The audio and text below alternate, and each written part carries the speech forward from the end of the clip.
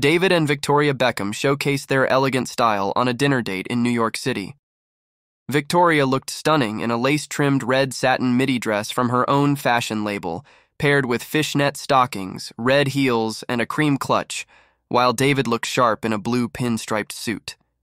This outing comes shortly after their Netflix documentary Beckham aired, revisiting past challenges in their relationship, including infidelity allegations against David from 2003, linked to his personal assistant, Rebecca Loos.